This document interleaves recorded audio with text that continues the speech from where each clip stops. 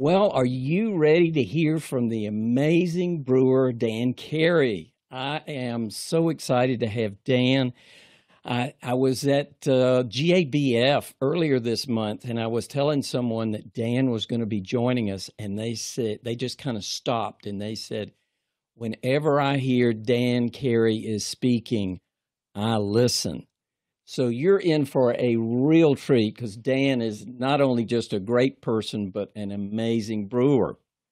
I'm Doug Piper, and I'm the host of the Gourmet Brewing Channel, and I'm in Greenville, South Carolina, in the USA. And I want to thank everybody for taking time to join us because we really strive to make your day more delicious, one sip at a time. Now, share in the chat if the audio and the video sound and look okay. Uh, it's real hard to tell on this end whether my mic's blowing you out or not. So uh, if you just type in there, mic's okay, video's okay, that would be a big help to me. So, uh, and now I want to I want to bring on Dan. Uh, he's not going to get a chance to talk yet, but uh, I'm anxious to bring him on the screen so you know he's there. Uh, and we'll be starting with him in just a minute. So uh, please consider writing in the chat, not only about the audio and the video. Thank you, Volker. I say all all's okay. Write to Dan and let him know how much you appreciate him taking time away from his wife and family. And I think a, a dog walk is in store a little while from now and he's postponing that to join us today. So please uh, let Dan know how much you appreciate him taking the time. So, hey, Merlinius, mic's okay, good. Video's okay, great. So let me tell you about Dan. Dan is the co founder and diploma master brewer at New Glarus Brewery. He's been in the brewing industry since age 20 and holds a bachelor's degree in food science from UC Davis, specializing in malting and brewing science. He honed his skills with an apprenticeship in Germany, and he's operated and constructed multiple breweries across the U.S., in, including, I think, Sierra Nevada. I've heard some stories there. So he was previously serving as a production supervisor for the Anhe- for Anheuser-Busch. He is a decorated brewer, and Dan has won several prestigious awards, including the Association of Brewers Small Brewer of the Year in 2003, Midsize Brewer of the Year in 2005 and 2006, the Russell Schehrer Award for Innovation in Craft Brewing in 2006. And Dan, I, this is just one a stellar bio. We'll bring you back on screen in just a moment. So I also want to let you, a lot of first timers are here because this is a just a great chance to uh, get to speak to master brewers, subject matter ex- experts. And we do these monthly. This is actually the 96th free event thanks to monthly supporters via Patreon. And I want to thank those monthly supporters because they contribute to these programs. And there's supposed to be a green button on the screen. I'll I'll do that in a minute. That if you want to uh, consider joining Patreon, you can click there to learn more information. Gourmet Brewing is a community funded channel, and that's the only way we can do it is through the generosity of so many of you through the crowdfunding site. And a, a lot of you do some spot contributions, and that helps. Uh, when you sign up, you can not pay anything or throw in a, enough I could go buy a beer, whatever. Uh, and I appreciate those folks. Supporters include the, get the audio files, behind the scenes brewery tur- tours, and it includes full length interviews with people like Ken Grossman and John Mallett. So uh, give that a consideration. And since that link is not showing up, and that's pretty pretty important for the continuation of this, I'm going to pop that in the chat there. So don't mean to sound too much like a commercial, but it is it is important. Uh, also, I am trying to grow my YouTube channel because I've learned kind of the hard way that guests kind of size me up depending on the size of my YouTube channel. So if you get a chance to subscribe or look or give a thumbs up, that would be a big help because most of these are on there along with a lot of other programs. I just came back from GABF, did about a dozen interviews there. Peter Bouckaert, uh, Randy Mosher, a long list of just great people, and those are going to be up on the YouTube channel. So check them out. Uh, for those uh, also that might be viewing the stream on YouTube or uh, Facebook or uh, LinkedIn, you know, we're glad you're there and join us on Crowdcast if you want to submit questions. Uh, also consider clicking on the follow button. It's in the upper right hand corner of your screen. Well, no, it's center of your screen. They moved it. This is new software. Uh, so click up there in the center and you get notifications of when I go live.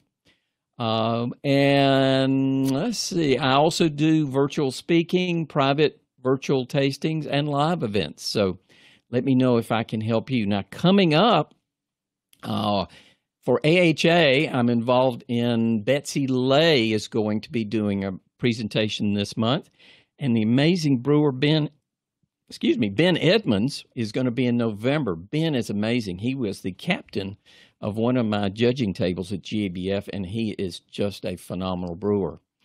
Uh, and we're going to have a Zoom after party. Uh, I'll put the link there, but we won't go live until this is over with, which is going to be a while from now. So, we will be there. Dan may make it, may not. Kind of depends on how late we go. So we'll uh, we'll see how that goes. Now, let's get started. I'm ready to kind of quick going through all the logistics. Well, that was the wrong button, and I promise you, this won't be the last time I hit the wrong button because I have had a hard time learning this new software. Ha! There it is. Uh, Dan, thank you for joining us today, and be sure to unmute your mic. I'm not sure it is unmuted yet. There we go. So you and I have talked. We had an hour long interview uh, where we talked about yeast sleuthing. I would call it. I don't know. It's kind of you guys sounded like Raiders of the Lost Ark, except it, it was for yeasts. So I've I've got a question for you. The German purity laws. I mean, since we're going to be diving into history, what what exactly? How would you def- say Reinheitsgebot and lagers have to do with each other? I mean, where, what is that relationship? Well, you know, the, the laws uh, around how beer is to be brewed go back in Bavaria, go back even before the Reinheitsgebot of 1516.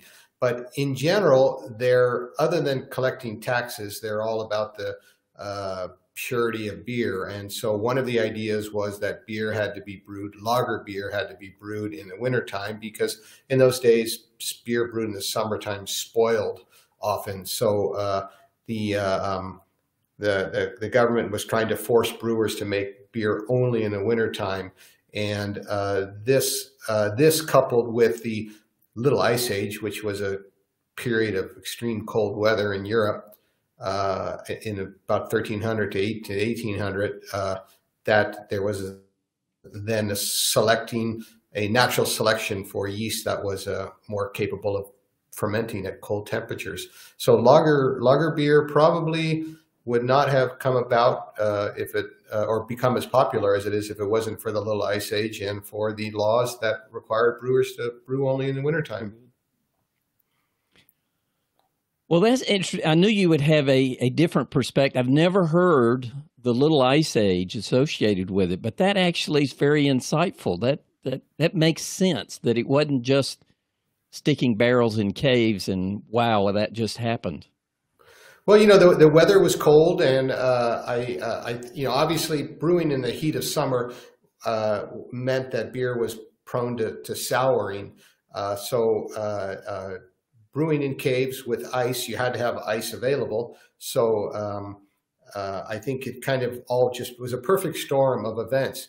You know, in England, of course, they experienced also the little ice age, but they didn't have nearly as much ice. So you, read in the old literature that uh, brewers in England basically used a really high hopping rate to stabilize, stabilize against bacteria, against lactobacillus souring, whereas the continental brewers they opt because they had ice, they opted for using ice to stabilize their beer. So you can either ferment really cold or you can have an extremely high hop rate. And in those days, English beer, IPAs of the day had really high hop rates. And people wrote about the cost of high hopping versus the cost of ice, which was more economical. That was a debate.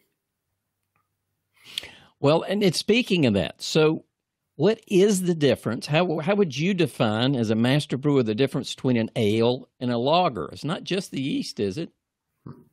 Well, that's uh, that's kind of a, a rabbit hole, uh, big question. But I guess you, I could start by saying what the difference is not. The difference is not about uh, about flavor. It's not about one being fruity and one not being fruity. It's not about color. Certainly, you can have amber and dark lager beers, and you can have golden ales.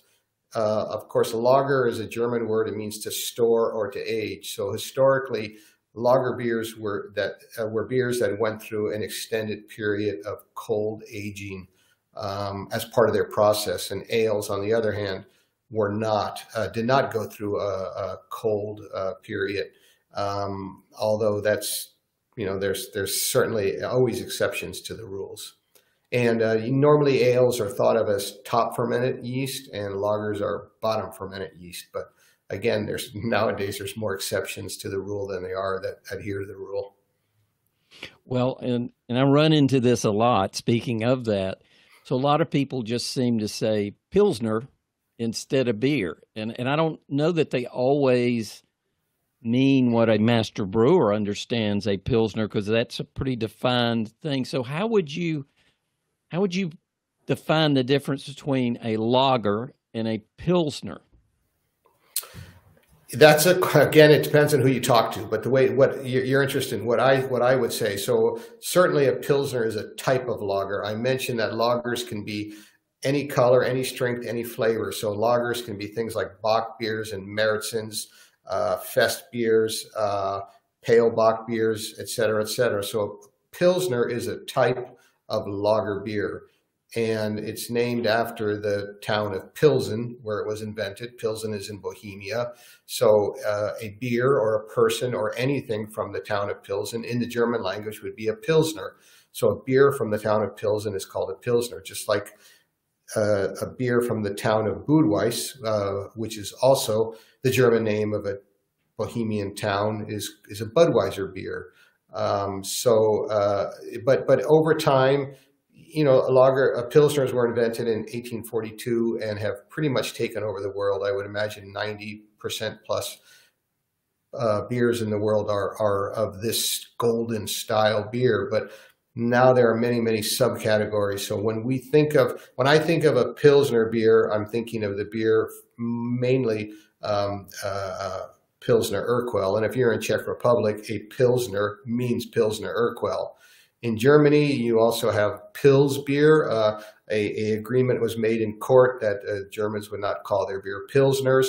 They call them Pils. Uh, then you come to America or some of the more New World countries, you have a modern uh, American style Pilsner that's usually made with adjuncts, which is a golden, uh, pale in color, but has over the years uh, somewhat drifted apart from the original uh, style of beer from uh, from the city of, uh, of Pilsen. But if you're in Czech Republic and you order a, a Pilsner, you're going to get a Pilsner Urquell. That's for sure. They they you know so so in Czech Republic a lager beer would be what we would call a Pilsner, and hence the confusion. Well, I think it's a it's a fun thing because there's a lot of history, interesting history behind both of them, and that's kind of where I'd like to take our conversation next because there's a tendency to think, you know, when people were brewing and they made stuff out of wood and they were brewing with, you know, even brewed with rocks. Yes. I think there's a yeah. tendency to look at that as primitive and that they weren't uh, as as bright as modern day brewers. Mm-hmm. Do you mm-hmm. do you agree with that? How did how did lager yeasts get created by these maybe primitive people? Uh, they, they were far from primitive. Uh, actually, um, uh, a famous uh, barley breeder, uh, Harry Harlan, in his book uh, "My Life with," I think it's called "My Life with Barley," he he argues that the people, uh, our, our, predecessors, our ancestors, were actually smarter than we are because they um, were able to domesticate uh, wheat and rye and corn and, uh, horses and cows and ducks and chickens um, and things like not zebras. Uh, so, so this work was done thousands and thousands of years ago by people that figured out what to eat and what could be crossbred and, and how to how to take a grass and turn it into something to turn bread and beer into. So in a lot of ways, these people were probably more clever. They didn't have the internet. They didn't have uh, universities. They just did it uh, by simple observation. So I would argue that these people were far from primitive. They were probably a lot more capable than the modern person is. But but I guess to, to get into it to answer your question, where did lager yeast come from? Lager yeast is a is a relatively new thing. It's been around for um, you know some hundreds of years, may, maybe 500 uh, years or so. It's a hybrid of two yeasts. It's a hybrid of ale yeast uh, and um, a, a wild yeast called Saccharomyces uh, eubayanus that is a very cold tolerant. Um, yeast, and it was a fortuitous uh, hybridization that happened uh, at least at least once and probably many times in breweries. Lager beer has been around since um, probably the 1400s or the 1500s, or, or maybe long before that.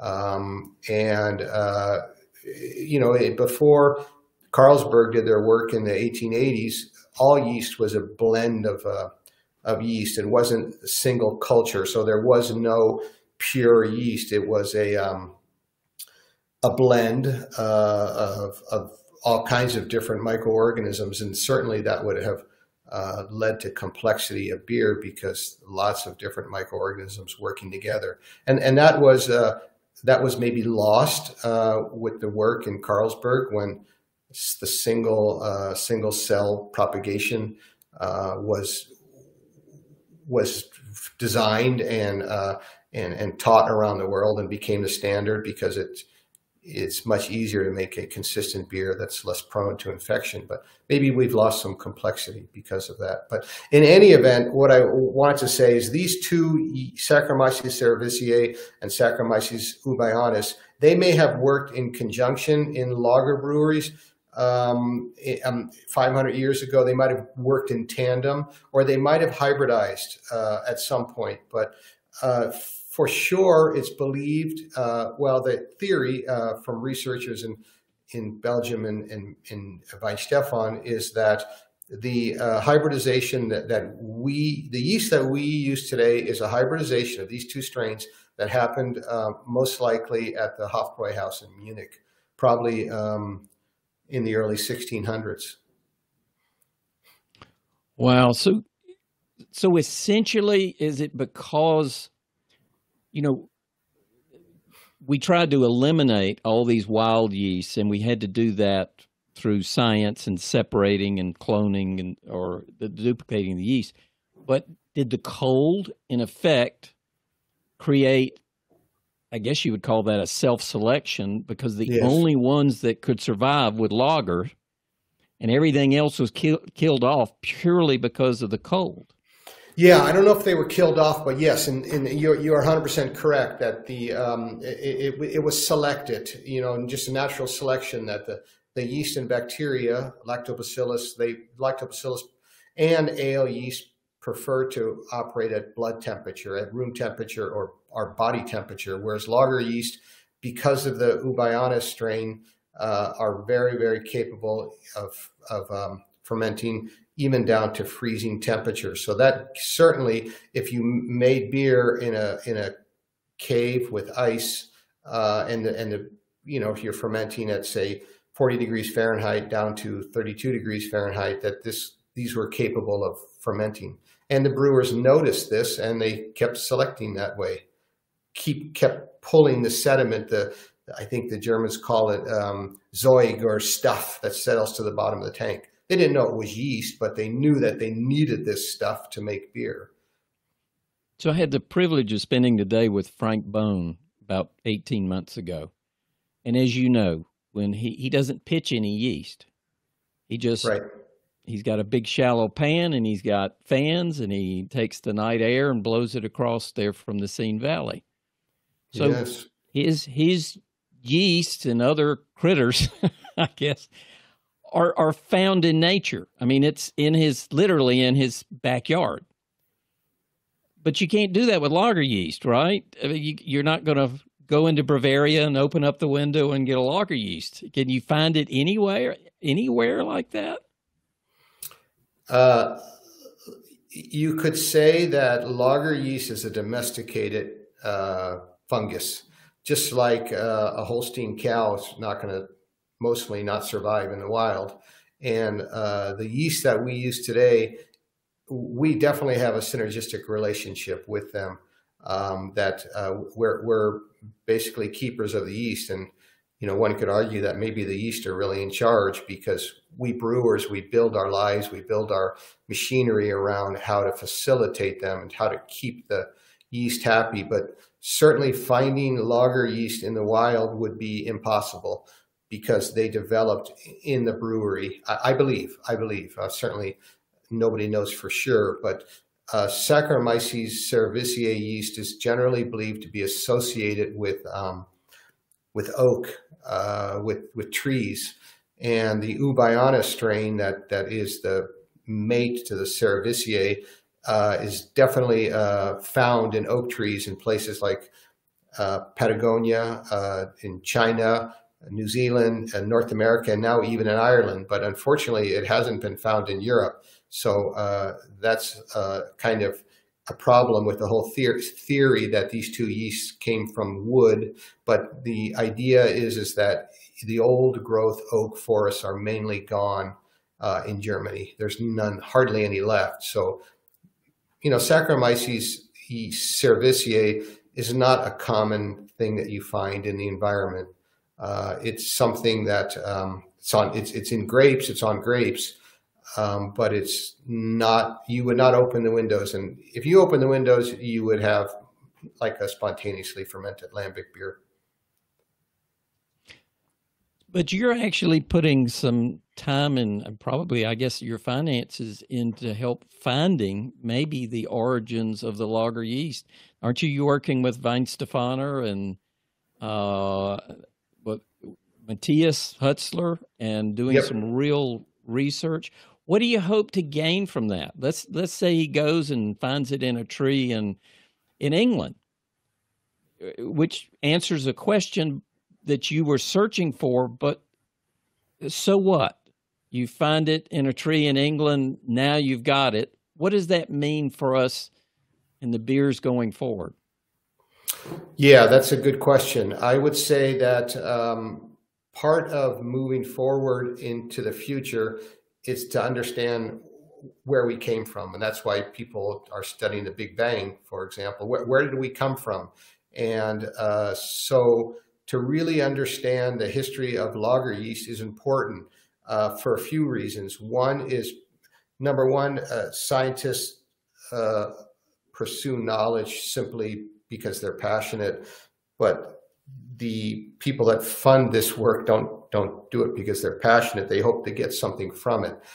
We are at a, a unique time in the brewing industry because a lot of work is being done on yeast uh, to try to understand how to how to extract more flavors, different flavors, no um, novel flavors out of yeast. And if if we think of lager brewing, you know, 200, 300, 500 years ago, if we think about these mixed cultures and all of this was lost at the pinch point because the only lager yeast that survived to the modern time, it, it came, it, it, the theory goes, it came from uh, the Hofbrauhaus, the Hofbräuhaus in Munich. It went uh, with uh, Gabriel Sedlmayr to his new brewery the Spaten Brewery in Munich. And from there, he gave it to Carlsberg, and Carlsberg selected pure yeast cultures, the, the most um, good, well fermenting, most balanced flavor, most well behaved yeast. And then that became the standard from all lager yeast. So if you imagine all of these yeast were lost because only one made it into the modern age after 1883. That's why all lager yeasts are relatively the same. The the amount we've only had, you know, 140 years of time for mutation and change. So, um, uh, other than understanding the history for the sake of history, if we understand where our yeast comes from, maybe we can use some of those strains that are found to generate, to try to recreate some of those flavors that may have existed before the pinch point of 1883 when the single uh, single single cell system was really uh, adopted mostly around the world. So, so you're hoping there's a new delic- deliciousness that oh, maybe oh, definitely. lost. Definitely, that is definitely what uh, Matthias Hutzler is is working on to try to. Um, I mean, okay, certainly there's a lot of uh, uh, yeast um, uh, vendors and uh, yeast scientists in the United States looking at using CRISPR to develop uh, various attributes. But um, he, he's trying to understand where we came from, and by finding uh, maybe finding yeast in old breweries, whereas mainly what he looks for is going to old breweries, to old malt houses, and swabbing old equipment and old floors with the hope of finding novel yeast that uh, maybe were lost with the advent of uh, modern modern brewing.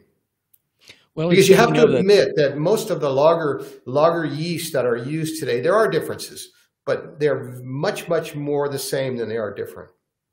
Well, you and I and uh, Matthias had a great discussion on that earlier this year, and I'm going to post it to YouTube shortly. So uh, look for it on my channel because it's a great discussion, and Matthias really dives into this in great detail. Well, we're speaking of diving in. Dan, I'm ready for a beer. Unfortunately, it's not a New Glarus, uh, but I'd like to play a short video. Uh, I did an interview with uh, the two brewers who developed this Oktoberfest beer at Sierra Nevada, uh, Scott Jennings and Ollie. I don't know that I can pronounce Ollie's last Weiss, name. Weishola. Uh, thank you. Weissenhola, yeah. Uh, and so I'm going to play that short clip while I pour mine right quick. And then, Dan, I'd be interested in your comments uh, about what uh, what those two guys talk about. So, all right, I'm going to open my beer while while we're listening. All right, here we go. Let me know if the audio is okay. It's quite pale, but not not as as light in color as many of the modern fest beers. It does have a little bit of a a deeper golden to it. Uh, some of the modern fest beers are very pale in color and uh, very uh, uh, low in, in, hop character. So, since neither of us, I don't think, make anything that's low in hop character, we wanted to uh, to really put a lot of hops in it. So we got Cascade hops in there. This is a non-traditional Absolutely. hop for a fest beer, but that's very important to the character of Sierra Nevada. So, so we have some Cascade in there. We've got some, uh, I would say, traditional German noble uh, hop varieties in it, which are very traditional. But then, uh, for a little uh, Kehrwieder flair, maybe we have some Ariana, uh, which is, I don't know, a, a more recent uh, interesting yeah. aroma hop from Germany that uh, gives a nice somewhere between yeah. citrus and and berry uh, character. So.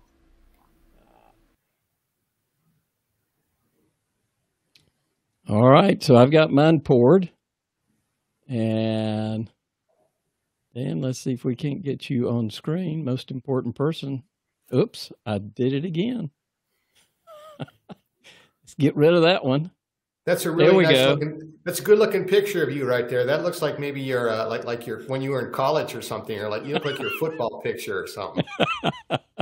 it wasn't that long ago. I used to used to have brown hair. yeah. Uh, I feel your pain.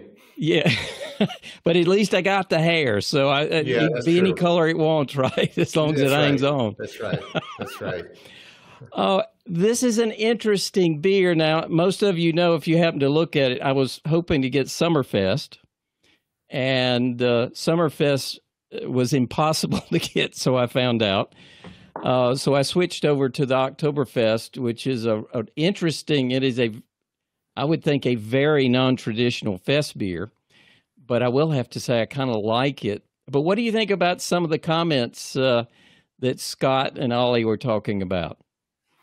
Well, it's really interesting to me because uh, Ollie has a brewery in, in Hamburg, and he's a uh, he's a well-regarded beer sommelier, and uh, he's a well-known brewer around the world, and he's he's been a fan of Sierra Nevada for many many years. So I'm glad that they're working together, and of course Scott is a is a great brewer in his own right and a, and a real gentleman. So they're both really sweet guys, uh, and anything that Sierra Nevada makes is uh, it's always great beer, always has great foam. And um, one thing that uh, that that Scott was talking about was Ariana hops, and Ariana hops were are, are a, uh, a, a, modern um, Hallertau, what are called flavor hops. Uh, it's it's a little bit higher in alpha than you would think for a traditional aroma hop, but it's very fruit forward. Um, bred at the Hull Institute for to, to kind of compete against the uh, the assertively uh, flavored American hops. But Ariana was actually named for Eric Toft. I, I think you guys know Eric Toft from the Schönram Brewery. He's originally from Wyoming, but he's he's he, he's brewmaster at the Schönram Brewery near Salzburg. Very very well regarded uh, brewery, making beautiful Helles and Pils beer. But his wife's name is Ariana, and so th- that hop was named uh, after her. And uh, this beer is a fest beer. Um, but, you know, in, in typical uh, Sierra Nevada Ollie fashion, they push the envelope and uh, kind of modernize it because, um, you know, I was just in in uh, in Munich uh, for hop selection, so I, I, drank my share of fest beers, and uh, this is a great beer, but it's it's it's certainly more assertive, it's certainly more bitter, and that was um, I think I'm sure that was their intent because they're both modern adventurous brewers. Well, and I, I did ask, try and get on his screen. I am I'm not doing real well with this. Okay, get rid of that one. Okay. uh, I asked Scott, and we have kind of a private joke because I've asked him way too many times about the yeast, but he did say this is Weihenstephaner's 3470 in this. Now, you know, that is that is like the world's most popular lager yeast, is that right? Oh yeah, most definitely. Most definitely. It's and what was uh, the origins of the number? You have any idea, Dan? Dan? Sure. Uh, so, so the yeast are given numbers when they're put into banks. And uh, this yeast, 34, uh, uh, came from the, the Hasenbräu uh, brewery in Augsburg, Germany. And it, it probably went to Weihenstephan. And um, my mentor, uh, the, the person that I've learned more about brewing than anybody in the world and a, and a true friend uh, recently passed away, Ludwig Narziss. In 1956, he wrote his dissertation for his PhD on lager yeast and selected this this strain 34, uh, which was just a random number. It means nothing than other than that was the number they gave it when it arrived at the bank, was the best yeast of all the lager yeast that he tried because it, it had the best flocculation characteristics, well balanced, uh, well behaved. It uh, produced relatively low um, uh, diacetyl. It produced a, a pleasing level of, um, of esters. Uh, it, it, produced a, a, good pH. It produced the low levels of, of, um, of higher alcohols. So it was all around really good yeast. And so uh, that's what he recommended in his PhD study. And then in 1970, he went back to it and said, you know, this, this 34 is mutating and it's losing its well-behaved flocculation characteristics. So he, he made, uh, in 1970, he did a lot of work where he repeatedly selected this yeast to try to get a more flocculent version of it and then released it as a variant of 34 in 1970, hence the name 3470. He did it again, I think, in 78, and there's another strain, 3478, but 3470 is just a really well behaved, uh, yeast that that that is predictable, and uh, you know brewing's hard. So if you have a yeast that just tastes nice and ferments well and is well behaved, and I think that's why 3470 is uh, so popular. Well, it certainly comes up a lot, and uh, uh, so and, and Andrew mentions 2470. What what is 2470? Oh, he said Uh, 30. Sorry. okay. Never mind. Correction. Correction. So as as we move on, because I want to talk about spotted cow, even though I haven't had one, I'm a saison fan. I, I see Drew Beechum in there, and I know Drew loves them too. And and I feel really bad that I haven't had a spotted cow, but we Well, we Doug, will gonna have have to a send some to you. yeah. Well, I would. I'll take you up on that in a heartbeat. Uh, so, but I want before we wrap up. So, how would you summarize the story I heard when I was studying for my Cicerone? Was that you know people were brewing and they were fermenting in caves, and because they stayed in the caves and the caves were cold, the the lager yeast kind of happened. But you added quite a bit of color to that story with more things. So, how would you summarize it if someone were to ask and say, okay, if you can't find lager yeast in the wild, how did it occur? Well, Spotted Cow's an ale. It's a golden ale. Uh, I know that people call it a cream ale, but I've never never said that. I, it's, it's not not how I view it. Uh, I view it. I call it a farmhouse ale, and people don't like that term because when they think of farmhouse ales, they think of Dupont, they think of saisons. This is not a saison. It's not a Belgian beer. Where it comes from is um, there's an open air museum in Wisconsin, an Eagle, Wisconsin, uh, that um, called Old World, Wisconsin, and it's a bunch of old farmsteads that were moved to this large plot of land, and there's basically a living museum. So there's different homesteads, and they're they're they're they're working farms, and so if you go there on the weekend, you can walk through many many acres and visit these farms. And there's a there's a Germanic farm that represents more or less what um, a uh, immigrant would have had in say the 1850s or 1860s and so you go to this house and there's people dressed in period clothes and they're cooking and in their root cellar they had a crock pot of beer fermenting.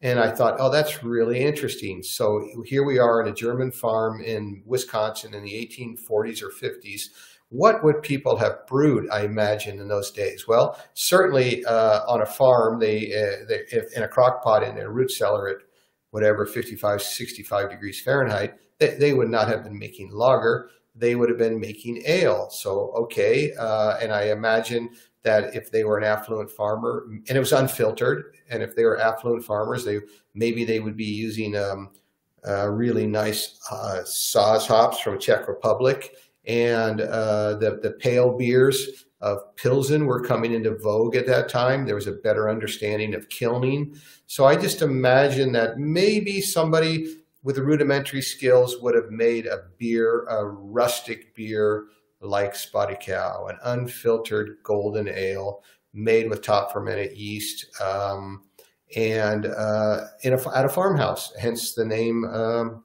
Farmhouse Ale.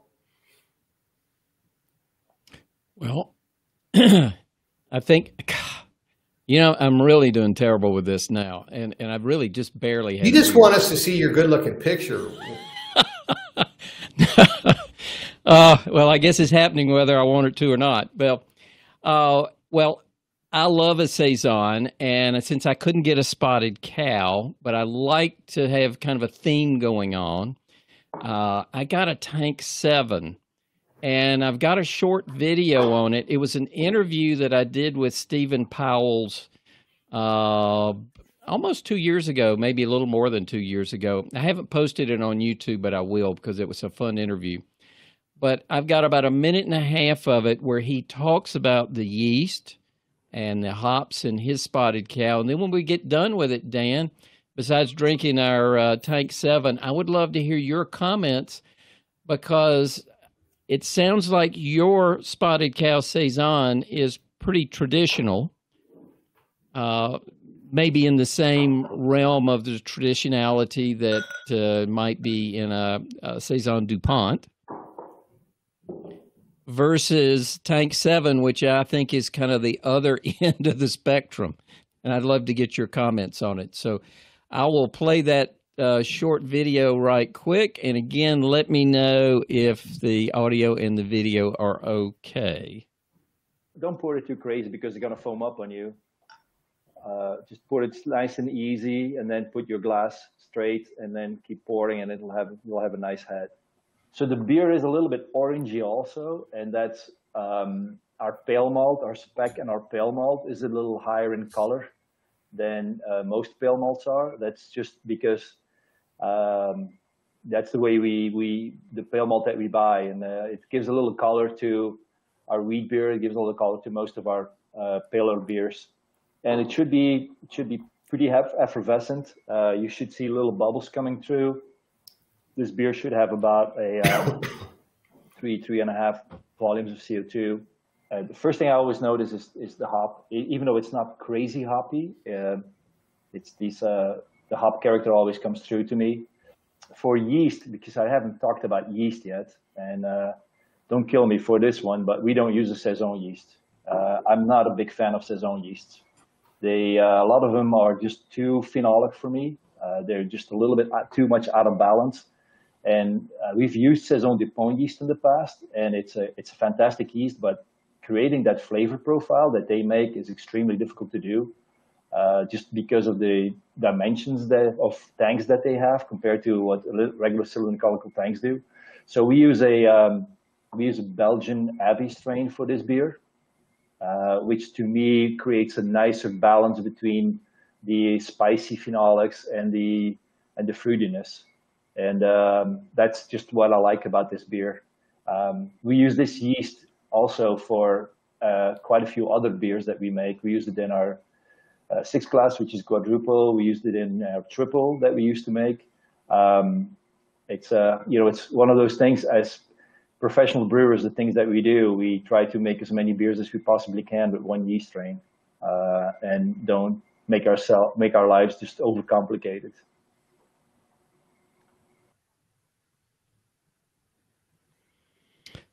Well, there's mine. And let's see if we can bring, bring Dan on successfully the first shot. Ah, this is getting bad. All right. Well, through the process of elimination, I got to figure this out.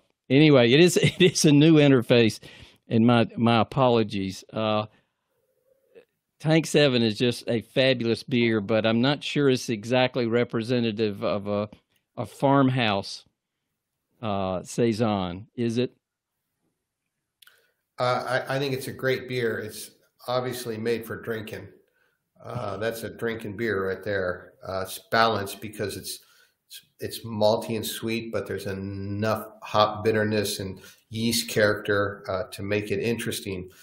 Uh, um, and Steven's a, great brewer, and of course he, he's from Belgium, so um, he's uh, I would say it's a legit saison beer because he says it is. You know, we Americans when we think of saison, we think of um, uh, we think of um, Saison DuPont, but that's only one beer. If you talk to uh, someone like uh, Yvan De Baets from uh, Brewery de la Senne in Brussels, uh, he also makes a Saison beer, but it's more, in, in my opinion, not, not his words, it's more akin to like a lambic beer with a higher hopping rate. Um, uh, a Saison doesn't really have to do with using the du, uh, DuPont strain. There is really no true Saison yeast. Saison, of course, means seasons, a seasonal beer. Um, and uh, it appears to me in the true Belgian style, it can be whatever you want it to be. Um, so I would say that this is, in my opinion, it's within the the realm of what a saison should be and Saison DuPont is a wonderful world-class great beer, but it's not the only one. And a couple of things that Steven brought up that I found really interesting was they're using a little bit darker uh, malt than their traditional pale lager malt. They they're ordering their malt with a little bit more color, and that's probably because they're trying to get more flavor out of it because the flavor comes from kilning. And there's a lot of other advantages to using, uh, as well as some negatives in using a, a, darker malt, but maybe it's more cross between a Pils and a Vienna malt. Uh, but his comments about the phenols, you know, phenolics are pretty much a love hate thing. Some people uh, appreciate phenols, but uh, it's been bred out of most yeast, selected out of most yeast because most people don't like the taste of phenols. They can be they can be uh, hard. They can be uh, they when you have lots of bitterness and lots of alcohol, they can clash. Um, and it's some people say it tastes like toothpaste. Uh, so um, I think that it makes sense that he would select a yeast that's not throwing a lot of phenols. And it seems like a lot of these uh, yeasts that are used in Belgium that are used for these types of beers, when they're used in America, oftentimes the beers throw a lot more phenols. And Steven was talking about uh, the, the height of the tanks being a difference. And um, I, I, wonder also if American malt, uh, you know, the, the spectrum of protein that we have in our malt may be different and that might be affecting it too. So I think it was a good move because this is a winner. I think um, the public has uh, voted and uh, Steven wins. I bet he sells a lot more of this than some of his Belgian uh, competitors do in the United States. Certainly true of me. It's it's one of my favorites. Again, I hadn't had spotted cow yet, but I can't wait to. But spotted cow is very different than this. It's it's it's it's Good. maybe it's it's hazier, a little bit lighter in color, uh, less bitter, and it's more fruity, much more fruit forward, and a little bit of its tart twang to it. Well, is, is it true that it's kind of the Wisconsin state beer?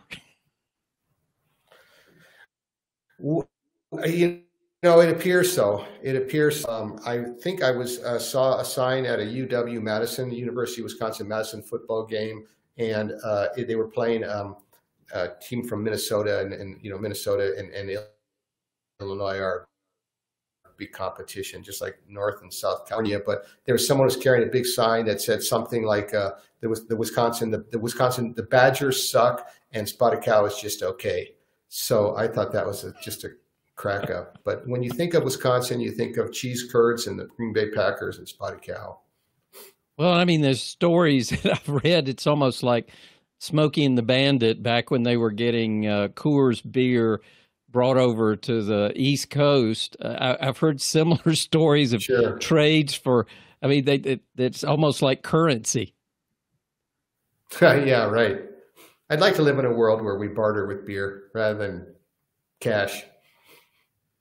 Well, let's talk about the yeast that's in that. Did you, you know, how did you select the yeast in spotted cow, recognizing you were trying to focus on farmhouse? And uh, I, I, it was a German. This. It was a German homestead, so we used a Kolsch yeast from Weihenstephan, top fermenting Kolsch yeast. So yeast from okay. Cologne. Which incidentally, you could argue, you know, we were talking about the difference between ales and lagers. Uh, the beers of Cologne are often called top fermented lager beers because they're made with top fermented yeast, but they go through a long lagering phase. So that's why I hesitate to really try to describe the difference between ales and lagers because if a top fermented beer goes through a long lagering phase like they do in Cologne or traditionally, or uh, like they do in Dusseldorf, that would be um, a top fermented lager beer. So for those of us that want to try and mimic or clone uh, like a Saison DuPont, and and I've been I've crawled all through their brewery, and uh, Olivier Dedeycker was nice enough to put up with me and my camera uh, right during the the height of COVID. Uh, but we were going through that, and it is it's a very shallow, very small tank. It's not very big. Yes, it's, and very warm. Yeah, very warm. Yeah. But if we wanted to clone, brew a clone of that beer in the U.S., would you suggest not using the the Dupont yeast because of its finickiness? Oh no, I think if you want to clone uh, a, a uh, I, I've never made a clone of Saison Dupont, so I, I can only speculate on what one would do, but certainly um, yeast matters. So I would make a wort um, and then break that wort into three or four different small batches and try some different yeast and see what works for you because the uh, frustrating thing about beer is what works for one person may not work for another. But uh, from what the little that I know about the Saison DuPont yeast is it needs to stay warm, meaning, uh, you know, 30 degrees. So what's that? Uh, you, you, know, in, in, the high 70s, 80, 80, 80 degrees. So it's a warm fermentation. But I, am I'm, I'm sorry, Doug, I'm, I'm not really, uh, I've never really brewed that style of beer. So can't. Well, really no, but you're you're kind of an American saison expert, and you know with the, the farmhouse, and and I and I thought your comment was interesting that just because you get a saison European saison yeast doesn't mean you're going to get the same characteristics here in the U.S. because of you were saying maybe the malt or other characteristics that just don't all come together quite like they did in Europe. That's definitely true. The malt is the malt is definitely different for sure. That has a huge impact. Okay, so you brew your saison with a Kolsch yeast. uh, but I, I, I, never said it's a saison. It's a uh, we, you know we don't. I'm not much of a category guy. I think when you when when you probably you find when you talk to professional brewers, they're uh, they they shy away from categories because uh, we don't like to be pigeonholed into, um, uh, you know, saying that this is this style or that style. And Spotted Cow, I, I would say, is, is definitely not a saison. Uh, it, it's it's it's because I use the term farmhouse ale. It does not mean saison because of, it's not a Belgian farmhouse. It's a Wisconsin farmhouse that I saw this. So. Um, uh, you know, on one hand, you're right because it's our our beer, so we can call it whatever we want. But I would not. I would be hesitant to give the impression that it's similar to uh, Tank Seven or even Dupont. It's it's unique.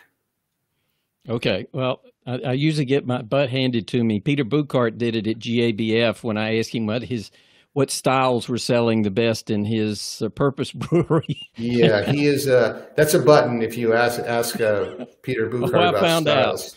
Yeah, but he was very kind. He was very kind in how he put it. Well, but what I was getting at, uh, a farmhouse with a cold yeast is not intuitive to some people, at least me.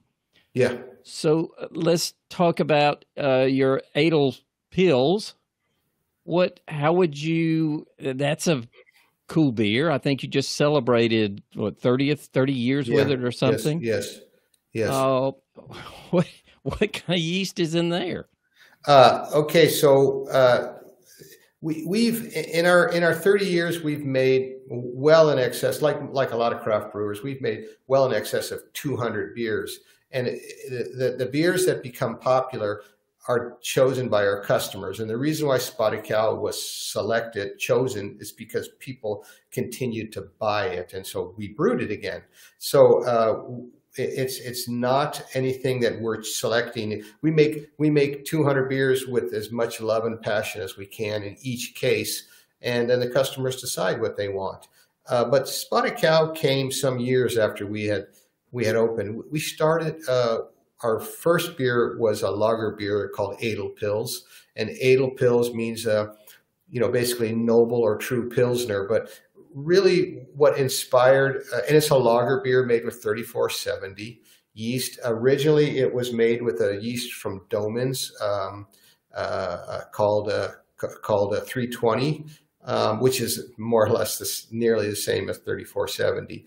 Um, but um, when I was an apprentice brewer in Germany. Uh, Deb and I had tasted uh, Budvar, Budweiser, from České Budějovice with the original Budweiser, which is sort, of, sort of almost like a Helles.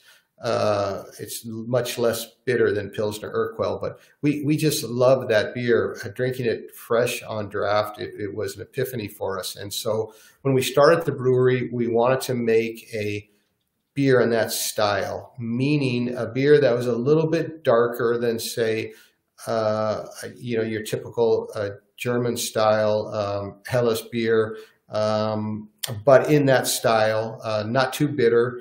And um, so we we brewed this beer, and this was our first one that we made in 1993. We only sold it on draft, and it was our number one selling beer for some years. But you know, as the craft brewing business grew, craft brew customers, again, they're the ones who are in charge. They wanted ales and lager beer, particularly pale lager beer, was. Um, you know, this was the days when Sam Adams beer was really big, and, and Sam Adams is sort of an amber uh, beer, a, you know, maybe more akin to say a Märzen style beer uh, as an amber lager. And so in those days, in the mid '90s, uh, you had to have color in your beer, or you had to have fruitiness from ale yeast, or you have, had to have a lot of hops to to garner the attention among customers. So Edel Pils kind of, you know, it, it, it languished. It was did okay, but never really had the spark. And when we made Spotted Cow, that just took the world by or took the state by storm. And so, so many years have gone by now that the customers have come full circle and are returning back to um, starting to appreciate lager beers of that style. So, for our 30th anniversary, we just made, I think we made 200 barrels of it to sell out of the brewery and um, uh, uh, in the town of New Glarus. And um, so we only made a small amount. And I think it finally struck a chord that people got it. Oftentimes, you have to be in the right place at the right time. Well, you certainly have a knack for that. Well, as we approach the top of the hour and we're almost there, and we're going to switch to the Q and A. Uh, and just note, get your questions in there. Dan will answer those in just a couple of minutes. Uh, also, you know, if you need to run, this is recorded, the questions will be recorded. Maybe more importantly, you can vote up the most important questions. So look over the questions, and if you've got one you really want, vote it up, and it'll be answered first because that's the order I take them in is which one, which ones you want the most. So Dan, here's here's my question. Uh, I like I said, brewers like to uh, vent at me sometimes, which is good because I learn. we all so have I, PTSD. Yeah, we're all. That's right. Brewing business is a tough business.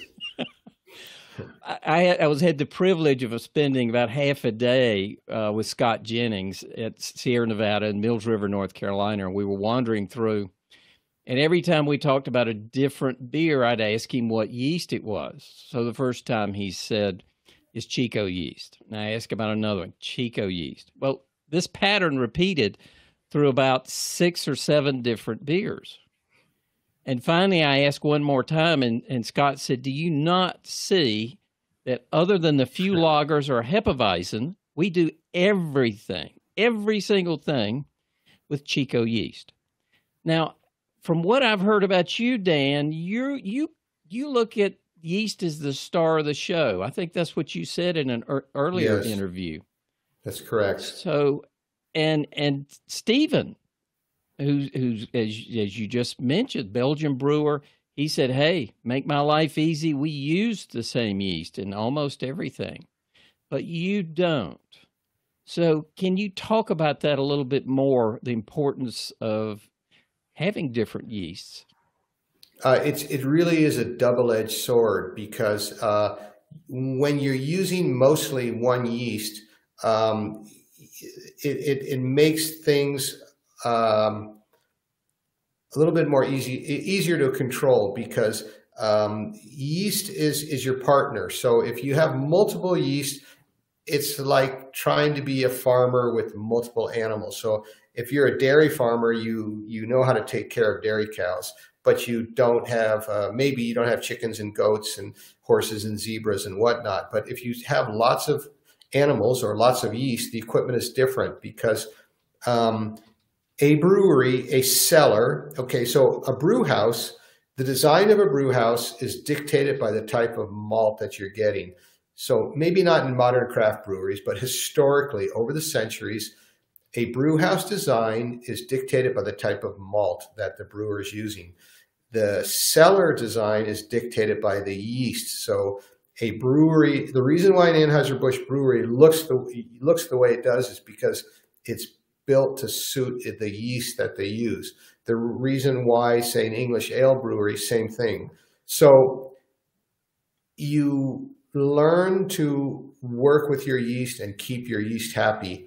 If you have more than one yeast, it becomes difficult to, um, it's cumbersome and clunky because you know it's a law of engineering that when you ask a machine or anything to do more than one thing, it's a compromise of design. So Sierra Nevada over there, whatever, you know, 35, 40 years of, of life have drilled down how to use this yeast and they're partners with it. And their, their breweries are built to serve that yeast. When they use a different yeast, it's a deviation. And most of us can set our watches to how our yeast performs. But when you add a new yeast into it, you have very you have difficulties. And until you figure out how to use them, you have things like stuck fermentations and off flavors and yeast that won't flocculate or yeast that flocculates. It takes time to figure it out. So, um, and then there's also a concern for cross contamination.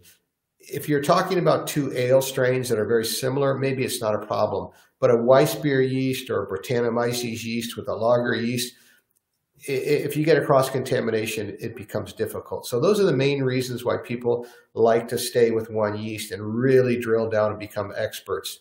The problem, the only downside with that, and, and you can make obviously brilliant beer. So I don't mean to, to, to say that that's not the correct way to make beer, but it, it can have, you can end up with what uh, maybe what the Germans would call a Hausgeschmack or a house flavor in the beer so that all of the beers taste more or less the same and the differences are only about the different malts and different hops that you're using. But the fermentation characteristics are more or less the same. So by using different yeast, you can coax out different flavors. Um, and uh, we we use on a regular basis maybe six different yeasts in a year. Our number we we make we make we use two ale yeasts and one lager yeast pretty much all year round. But then we use a Weiss beer yeast. We use a Belgian style yeast.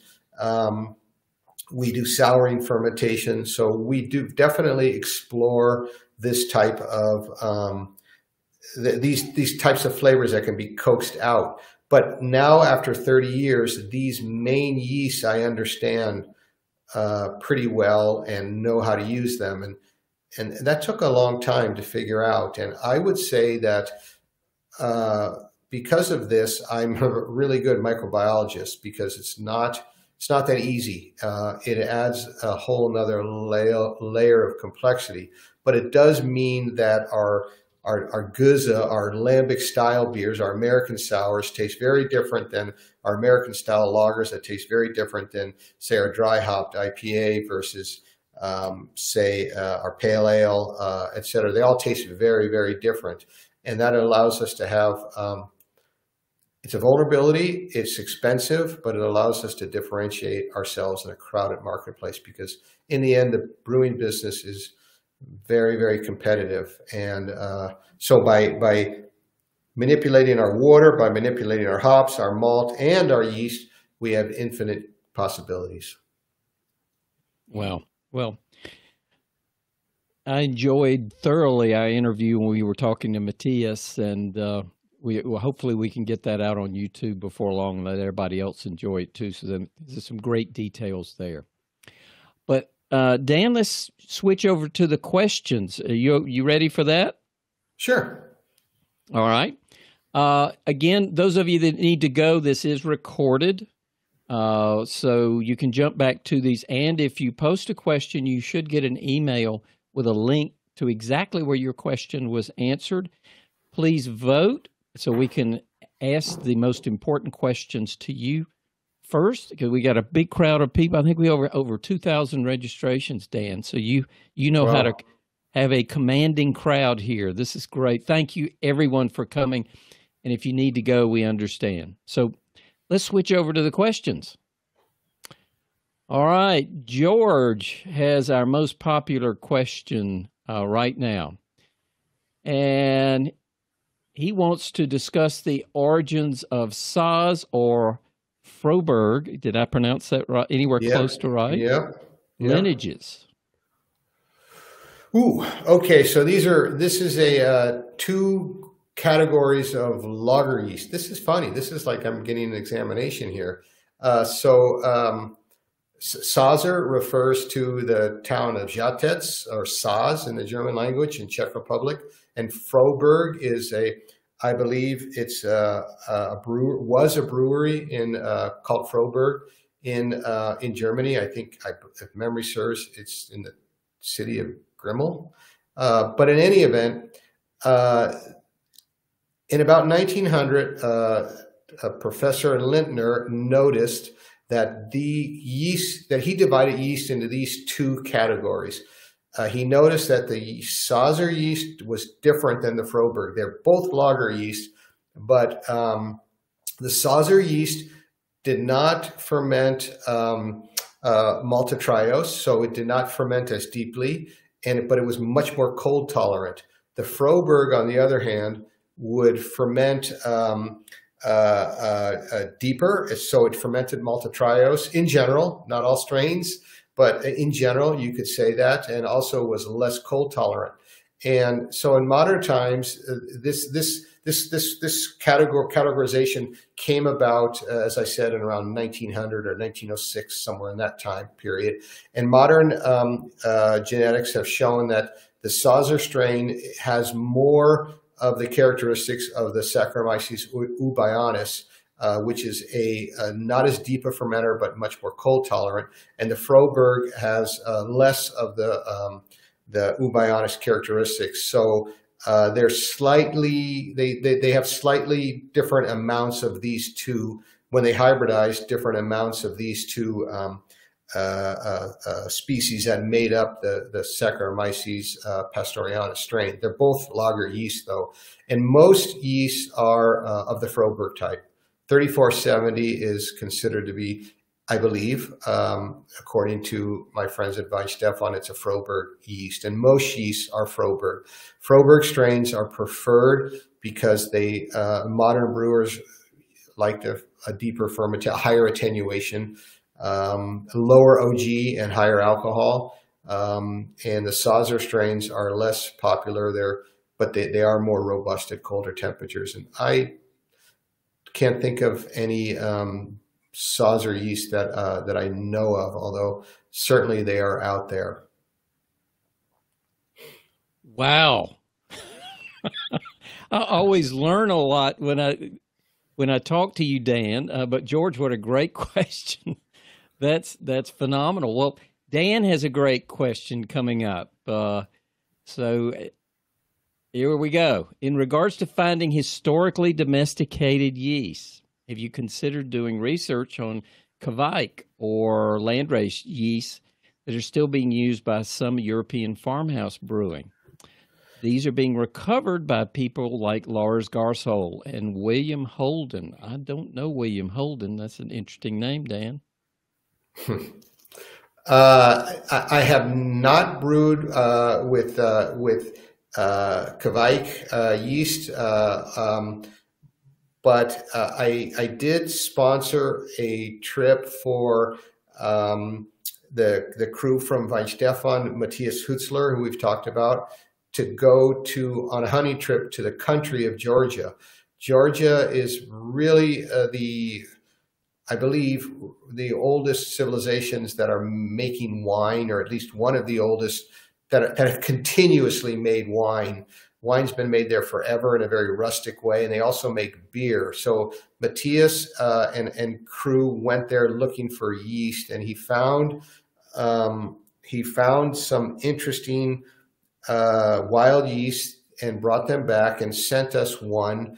And uh, it is a uh, a very fruity tasting, um, a, maybe a little mini bit of phenols, but not too much. And I'm thinking about doing something with it. I haven't done it yet because you know there's only so many hours in a day, but eventually we might make some sort of table beer, you know, a, a blonde Belgian style beer that's highly hopped, golden, unfiltered uh, beer with that. But um, that is the main uh, yeast that uh, that I find of interest uh, as far as uh, historical yeast. Although uh, a couple of weeks ago, a man, uh, I, have been out of the country for hop selection and then at the Master Brewers meeting, so I haven't had time to deal with it. But a, a historian showed up from a brewery here in Wisconsin that's been out of business for 100 years. And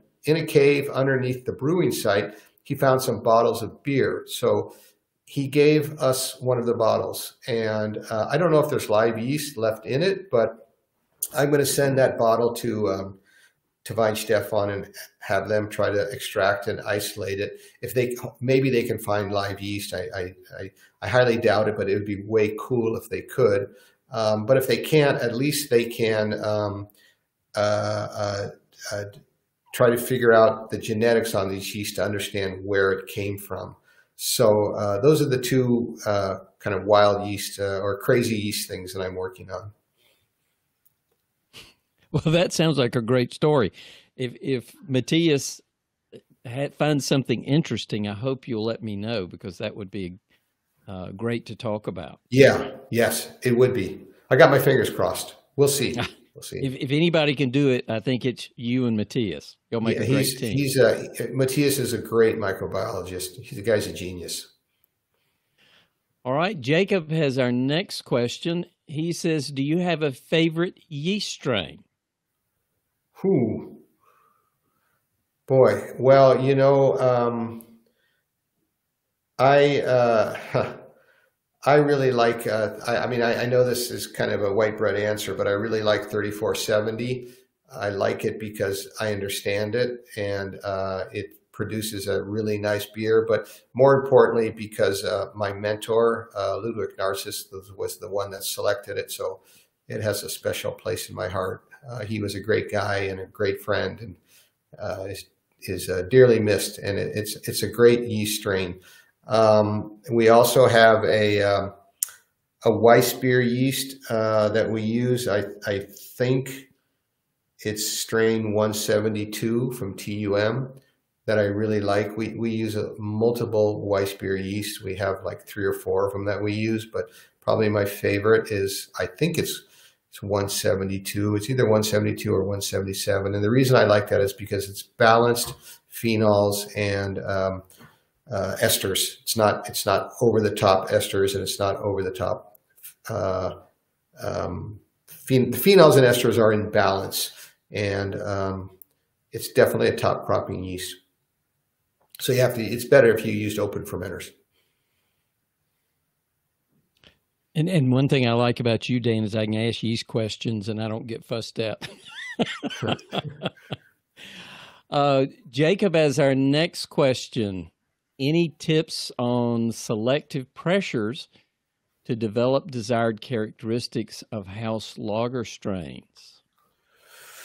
Ooh, well, if you're talking about flocculation characteristics, that's uh, takes time, but um, that would be um, simply doing a fermentation, say in a cylinder, in a one liter cylinder. If you want, if you want a flocculent yeast to be a powdery yeast, you would let the yeast settle and then take the, the supernatant, the yeast that's left in suspension, and do another fermentation and, and maybe do that 10 times.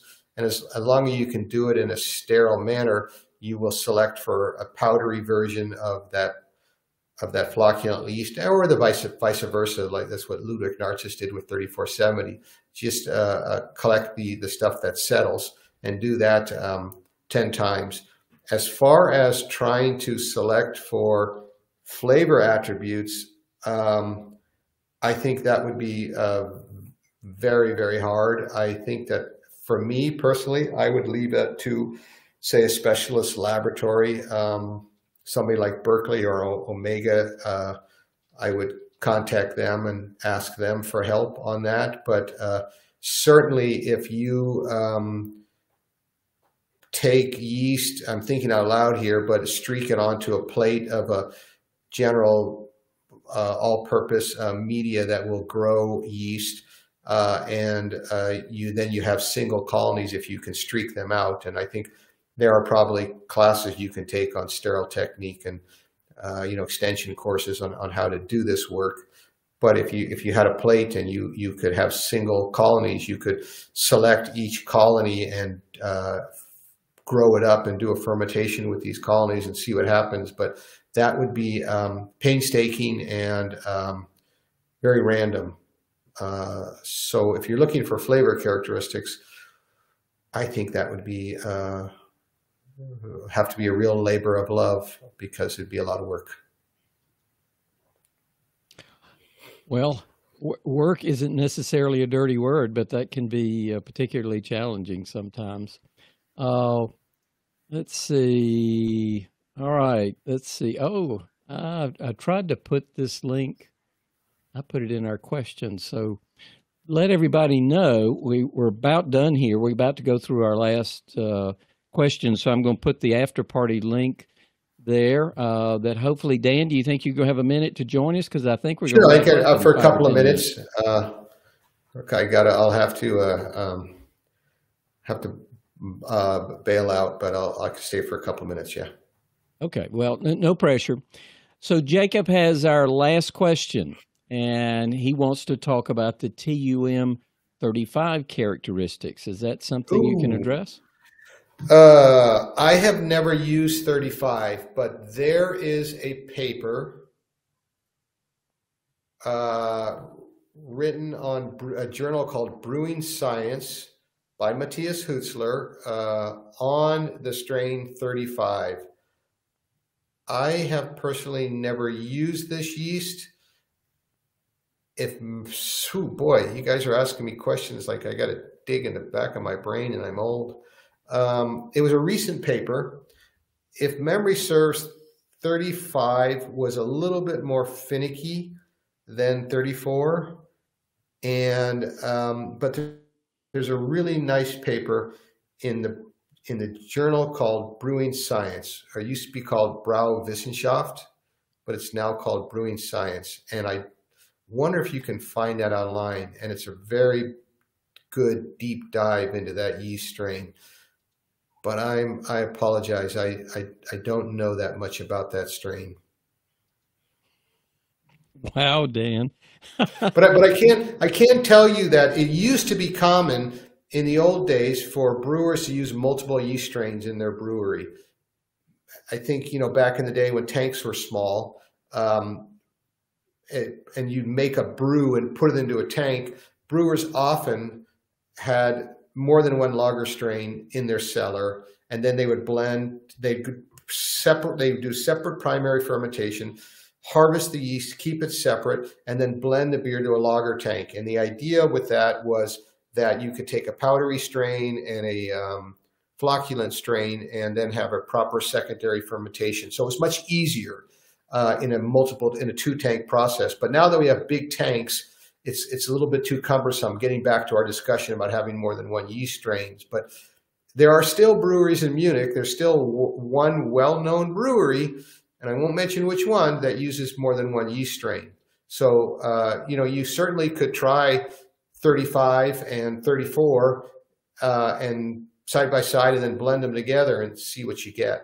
Uh, normally, it's it's something that's been lost in the modern brewing world, but in the old days, it used to be beer was probably better uh, back before the modern ways of brewing when things were a little bit more complex.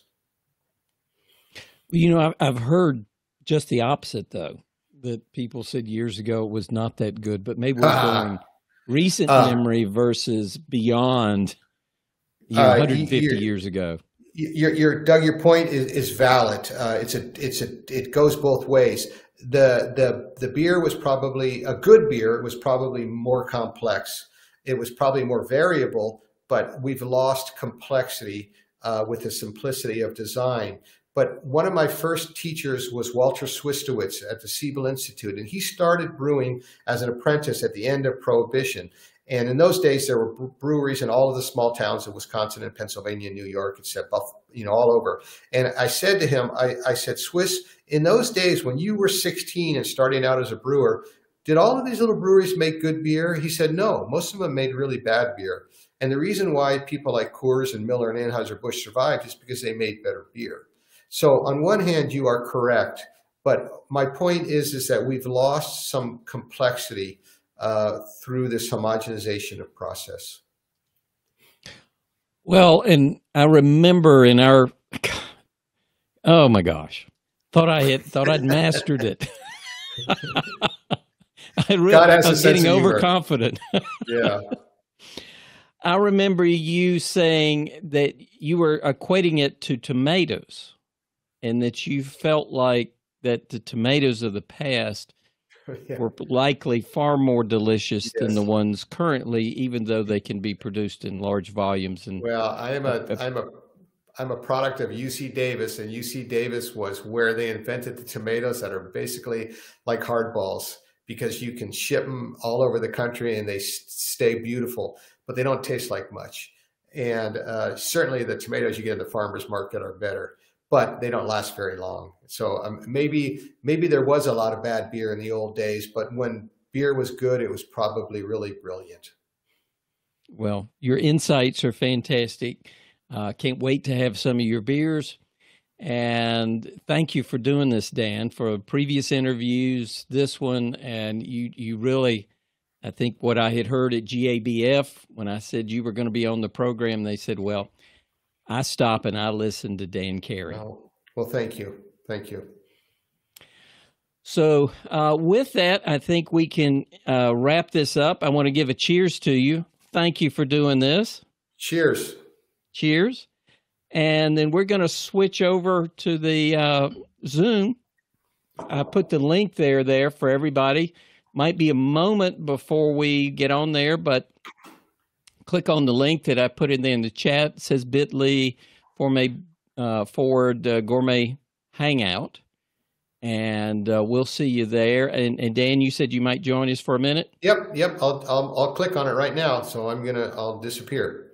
Okay, no pressure. Thank you. All Thank right, you, everybody. Cheers. Thanks, Doug.